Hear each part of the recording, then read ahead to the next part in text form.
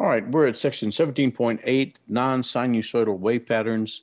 Um, and they're showing you here three different uh, uh, waveforms, one for a tuning fork, one for a flute, and one for a clarinet. Uh, you can see with the tuning fork, it's a pretty clear sinusoidal uh, waveform, but for the flute and the clarinet, they're not exactly uh, straight sinusoids. Um, so what's happening? Well, the tuning fork, if you strike it right, it'll just have this back and forth uh, motion that causes the uh, a pure compression and rarefaction that's a pure tone to your ear. If you do strike a, a tuning fork uh, too uh, too hard, you will get overtones and you'll get modes where you you introduce other wave uh, uh, other waveforms on the tuning fork. But if you hit it softly with a nice rubber mallet, you'll get uh, a pure tone. But with flutes and clarinets and saxophones and trumpets, you get all the all sorts of overtones um, that make the the um, uh, their distinctive sound. So uh, that's what we're going to discuss. We're going to discuss these uh, wave patterns. Now, the if you break it uh, down, looking at its spectrum, this is just a time signature here of the waveform. But if you look at it at its spectrum, you'll see that the uh, tuning fork has only the fundamental. Uh, it's a pure tone. Whereas the flute, it has all of these contributions from the different harmonics, the first, second, third, fourth. The first harmonic we call the fundamental. But you can see in the flute, the second harmonic is greater than the fundamental. Then the third is slightly less. The fourth is still uh, greater than the fundamental, and then it decays from there.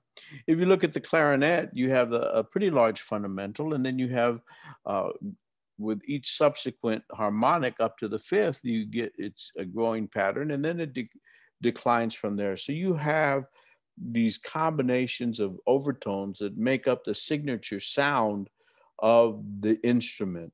Um, oops, went wrong direction. So Fourier transform works in cases where y of t plus capital T, the period, y of t plus the period equals y of t. What does that mean? That means it's repeating.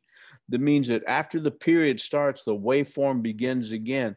And you can see that here. If we take this as uh, y of t, well, at y of t plus a uh, one period, you see that it starts over again. So this is for repeating waveforms.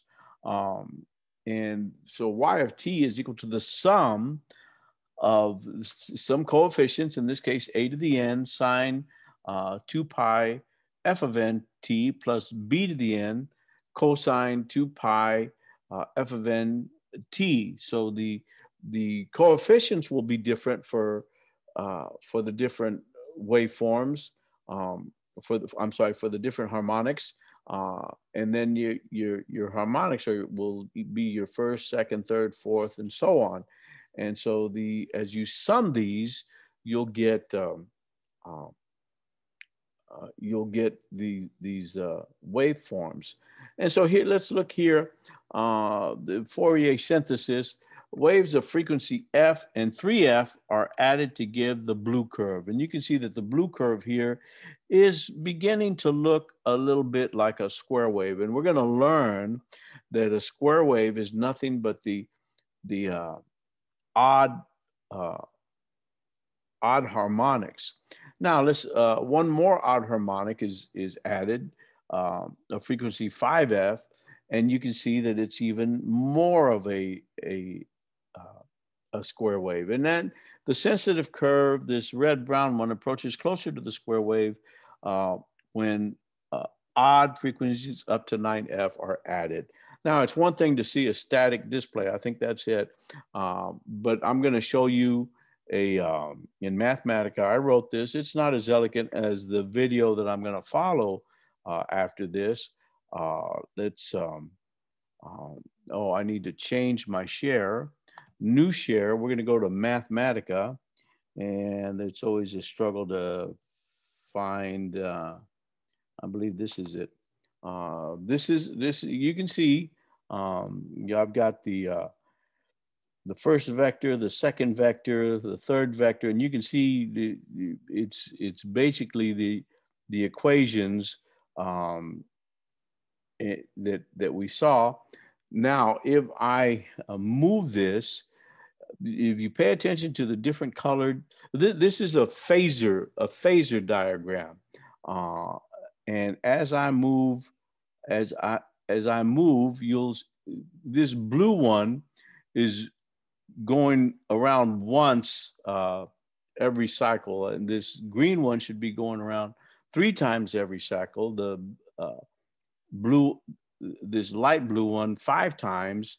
This kind of red one, seven times. And this purple one, nine times. And the, as these things go around, they form a, um, they form this pattern that looks kind of strange if you just look at this oval, but if, if you look at the uh, if you look at the the unwrapped version of it, it makes a, a, a square wave.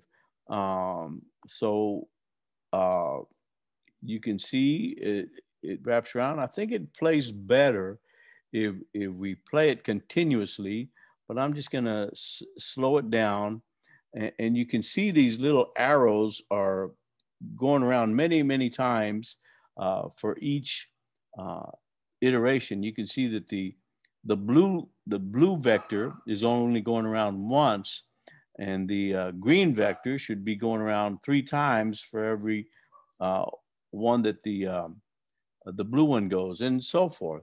And so if you view it from a phasor diagram point of view, you can see how these uh, addition of each of these vectors makes a, a square wave. And I'm gonna follow this up with a, uh, another video that's much more elegant. They use Mathematica also, but it's much more elegant than this.